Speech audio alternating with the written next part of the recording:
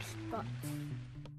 How's it going? This is Ricardo, and in this video, I'll show you how to remove the keyboard palm rest from a Dell Inspiron 11 version 3179. If you're looking for parts for this laptop, go to our website and use this coupon for a 5% off discount. Use a thin object to remove center screw cover. Now unscrew and remove bottom base cover.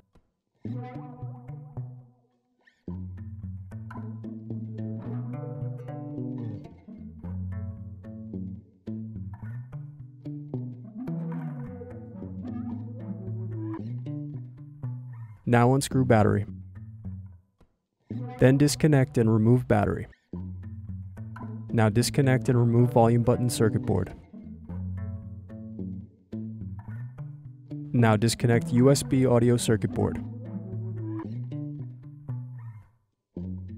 Now unscrew and remove circuit board.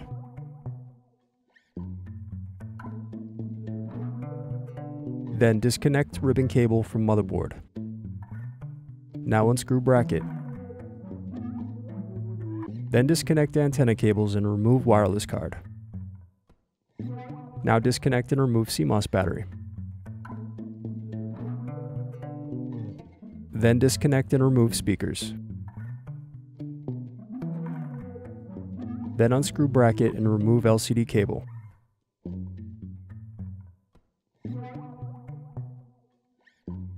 Now unscrew and remove DC jack. Then unscrew hinges and remove LCD display assembly. Now disconnect motherboard cables. Then unscrew and remove motherboard. Need more? Check out these other tutorials. For batteries, click here. For motherboards, click here. For wireless cards, click here. Thanks for watching. If you enjoyed this tutorial, give this video a like and subscribe to our YouTube channel. Check the video description below for links to written tutorials and replacement parts.